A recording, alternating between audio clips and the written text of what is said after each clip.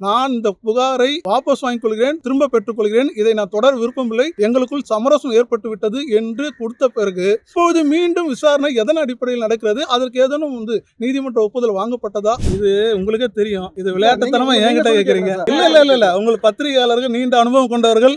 தினம் தினம் அரசியல் தினம் தினம் அரசியல் நகர்வுகளை நீங்கள் மிக உன்னிப்பாக கவனிக்கக்கூடிய பத்திரிகையாளர்கள் உங்களுக்கு இது எல்லாமே தெரியும். இது வந்து இந்த வழக்கு பத்தி மட்டும்தான் நான் வந்து பேச முடியும். அரசியல் கருத்துக்களை என்னால் வந்து எதுவும் சொல்ல முடியாது. அனுமானத்தின் அடிப்படையில் இல்ல அனுமானத்தின் அடிப்படையில் எதுவும் கேட்க வேண்டாம்.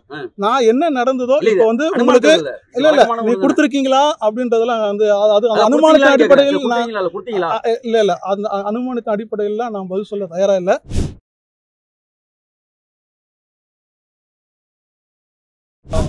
விஜயலட்சுமி என்கிற பெண் அளித்த புகாரின் அடிப்படையில்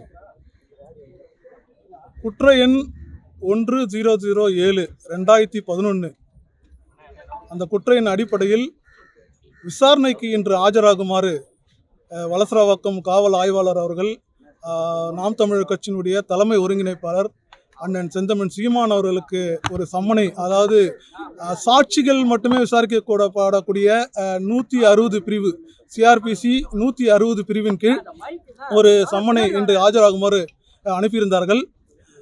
அந்த அடிப்படையில் இன்று அந்த செந்தமன் சீமான் அவர்கள் சில பல காரணங்களுக்காக அந்த காரணங்கள் என்ன என்பதை நாங்கள் வந்து காவல்துறை ஆய்வாளர் சொ சொல்லியிருக்கிறோம். அவரால் இன்று ஆஜராக இயலவில்லை. அவருக்கு பதிலாக வழக்கறிஞராகிய நாங்கள் இன்று காவல்துறை காவல் ஆய்வாளர் முன்பு ஆஜரானோம். அவர் அவருடைய இரண்டு கடிதங்களை வந்து காவல் ஆய்வாளரிடம் ஒப்படைத்திருக்கிறோம். அதில் ஒரு கடிதத்தில் இந்த வழக்கு ரெண்டாயிரத்தி பதினொன்று அன்று பதிவு செய்யப்பட்ட வழக்கு. அதன் பிறகு புகார் கொடுத்த அஹ், விஜயலட்சுமி என்ற அந்த நபர் தன்னுடைய புகாரை வா- வந்து வாபஸ் வாங்கிவிட்டார். நான் இந்த வழக்கை தொடர விரும்பவில்லை. இந்த வழக்கு எனக்கு வந்து இது இதை நான் வந்து வாபஸ் வாங்கிக் கொள்கிறேன் என்று அவர் கைப்பட எழுதி கொடுத்து அந்த கடிதம் இதே காவல் நிலையத்தில் ஒப்படைக்கப்பட்டு அந்த வழக்கு அதோடு முடித்து வைக்கப்பட்டது. அதாவது புகார்தாரரே தன்னுடைய வழக்கை வந்து வந்து திரும்ப பெற்றுக்கொண்டதால் அது முடித்து வைக்கப்பட்டது. ஆனால் கிட்டத்தட்ட பதினைந்து வருடம் கழித்து அதாவது அவங்க சம்பவம் நடந்ததாக சொல்ல சொல்லக்கூடிய ரெண்டாயிரத்தி எட்டுக்கு பிறகு ரெண்டாயிரத்தி இருபத்தி மூன்றில் கிட்டத்தட்ட பதினைந்து வருடம் கழித்து மீண்டும் ஒரு புகார் மனுவை அந்த அம்மையார் வந்து க- வந்து கமிஷன் அலுவலகத்தில் அளித்து அது வந்து இங்கே விசாரணைக்கு வந்திருக்கிறது. இப்பொழுது எங்களுக்கு ரெண்டாயிரத்தி பதினொன்றில் முடிக்கப்பட்ட அந்த வழக்கின் தொடர்ச்சியாகத்தான் இந்த விசாரணை நடக்கிறதா? அப்படி இல்லை என்றால் இப்போது காவல்துறை ஆணையர் அவர்களும் கொடுக்கப்பட்ட புதிய புகார் மனுவின் அடிப்படையில் புதிய வழக்குகள் ஏதேனும் வந்து பதிவு செய்யப்பட்டுள்ளதா? அந்த வழக்கின் விசாரணை அந்த வழ அந்த பதிவு செய்யப்பட்ட வழக்கின் அடிப்படையில் தான் விசாரணை நடக்கிறதா? அப்படி நடந்திருந்தால் அந்த பிரிவுகள் ஏதோ மாற்றம் செய்யப்பட்டு ஆல் அது ஆல்ட்ரேஷன் சார்ஜஸ் என்று சொல்லுவோம் அப்படி ஏதாவது பிரிவுகள் மாற்றம் ஏதாவது செய்யப்பட்டிருக்கிறதா? மீண்டும் இந்த விசாரணையை மீண்டும் கிட்டத்தட்ட ஒரு பதின பதிமூன்று வருடம் க கழித்து இந்த விசாரணை மீண்டும் துவங்குவதற்கு நீதிமன்றத்தின் ஒப்புதல்கள் ஏதேனும் பெறப்பட்டுள்ளதா? ஏன்னா அவங்களே கைப்பட எழுதி கொடுத்து அந்த இந்த நான் இந்த புகாரை வாபஸ் வாங்கிக் கொள்கிறேன் திரும்ப பெற்றுக்கொள்கிறேன். இதை நான் தொடர் விருப்பமில்லை. எங்களுக்குள் சமரசம் ஏற்பட்டு விட்டது என்று கொடுத்த பிறகு இப்போது மீண்டும் விசாரணை எதன் அடிப்படையில் நடக்கிறது? அதற்கு ஏதேனும் வந்து நீதிமன்ற ஒப்புதல் வாங்கப்பட்டதா? அப்படி போன்ற விவரங்களை காவல்துறை ஆய்வாளர் அவர்கள் அளிக்கும் பட்சத்தில் அந்த விவரங்களின் அடிப்படையில் நான் ஆஜராகும் போது விசாரணைக்கு என்னுடைய முழு ஒத்துழைப்பை வழங்க ஏதுவாகும். அப்படின்ற ஒரு கடிதத்தையும் கொடுத்துருக்கோம். இந்த ரெண்டு கடிதத்தையும் பெற்றுக்கொண்ட காய்வா காவல் ஆய்வாளர் அவர்கள் நாங்கள் இது குறித்து இதை இதை படித்து பார்க்கிறோம். இது குறித்து உரிய ஆலோசனை செய்வோம். உங் அடுத்த தேதி அடுத்த சட்ட நடவடிக்கை என்ன என்பதை நான் உங்களுக்கு தெரிவிக்கிறோம் என்று அவர் பதிலளித்துள்ளார் சார் வாபஸ் வாங்கிட்டாங்கன்னு சொல்றீங்க. இதுக்கு பின்னாடி ஏற்கனவே வாபஸ் வாங்கியாச்சு. மறுபடியும் ரீஓப்பன் ஆயிருக்கு. இதுக்கு பின்னாடி என்ன காரணம் இருக்கு? லீகலா எதுவும் இல்லைன்னு சொல்ல வரீங்க. இல்லை இது இப்போ நான் அரசியல் ரீதியாக எதுவும் பேச வரல. அது வழக் வழக்கறிஞரா என்னால் இந்த விளக்கம் தான் தர முடியும். இது இப்போ அந்த சில விவரங்களை நாங்கள் காவல்துறை கேட்டிருக்கோம். அவர் அது உரிய பதிலை கொடுக்குறேன். உரிய பதிலை உங்ககிட்ட நான் சொல்றேன்னு சொல்லியிருக்காரு. ஆகவே அவர் சொல்லக்கூடிய பதிலின் அடிப்படையில் எங்களுடைய அடுத்த கட்ட நடவடிக்கை இன்று. இன்று இன்று அவரே. ஏற்கனவே இல்ல இல்ல அது அது அது காரணம் இல்ல. அது- அது. அது நான் வந்து என்று வந்து ஏற்கனவே ஒப்புக்கொள்ளப்பட்ட சில நிகழ்ச்சிகள்.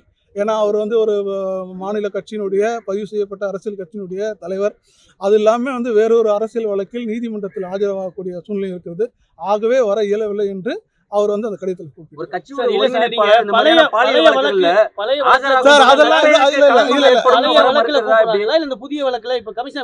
இல்ல அந்த அவர் அவர் என்ன சொல்லியிருக்காருன்னா இது இப்போ இப்போதான் கடிதம் கொடுத்துருக்கீங்க. நான் இந்த இது உரிய விளக்கத்தை நான் உங்களுக்கு சொல்றேன். அது வரைக்கும் நீ பொறுமையா இருங்க. அதன் பிறகு எங்க- நாங்க எங்களுடைய தரப்புல என்ன நடவடிக்கைன்றதும் நான் உங்களுக்கு சொல்றேன்னு இருக்காங்க இல்ல சார் இப்ப இந்த பதினாலு ஆண்டுகள் கழிச்சு திரும்ப இந்த வழக்கு விசாரணை நடக்குது. அதுக்கு பின்புலத்துல வேற என்ன இருக்கும்னு நினைக்கிறீங்க? அர இது உங்களுக்கே தெரியும். இது விளையாட்டுத்தனமா என்கிட்ட கேக்குறீங்க. இல்ல இல்ல இல்ல இல்ல. உங்களுக்கு பத்திரிகையாளர்கள் நீண்ட அனுபவம் கொண்டவர்கள். தினம் தினம். அரசியல் தினம் தினம் அரசியல் நகர்வுகளை நீங்கள் மிக உன்னிப்பாக கவனிக்கக்கூடிய பத்திரிகையாளர்கள். உங்களுக்கு இது எல்லாமே தெரியும். இது வந்து இந்த வழக்கு பற்றி மட்டும்தான் நான் வந்து பேச முடியும். அரசியல் கருத்துக்களை என்னால் வந்து எதுவும் சொல்ல முடியாது. போது வாபஸ் வாங்கப்பட என்ன செக்ஷன் போட்டிருந்தாங்க? இப்போ வந்து அடிஷனல் எஃப்ஐஆர் சார் அது ரொம்ப கடுமையான செக்ஷன்ஸா இருக்கா? கிட்டத்தட்ட ஒரு பத்து வருஷம் வரைக்கும் சிறை தண்டனை அளவுக்கான செக்ஷன்ஸா இருக்குன்னு சொல்றாங்க. முன்னாடி எஃப்ஐஆருக்கும் இந்த எஃப்ஐஆருக்கும் இல்ல இப்போ நான் இப்போ சில வழக்கினுடைய தன்மையோ அதன் உள்ள அதன் உள்ள மெரிட்ஸ் அண்ட் டிமெரிட்ஸ் பற்றியோ இங்கே பேசுறதுக்கு எனக்கு வந்து அது அதிகாரமும் இல்லை. அது வந்து அப்படி பேசுறது நான் வந்து நியாயமும் கிடையாது. ஏன்னா அது வந்து வழக்கு விசாரணையில் இருக்கு.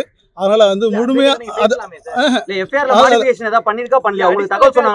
அது வந்து தகவலும் சொல்லல. அவர் வாங்கி நாங்க கேட்டிருக்கோம் இந்த தகவல்லாம் கொடுங்கன்னு. அந்த தகவல்களை நான் இப்பதான் கொடுத்துருக்கீங்க. நாங்க எங்களுடைய அடுத்த கட்ட நடவடிக்கை உங்களுக்கு தெரியப்படுத்துறோம்.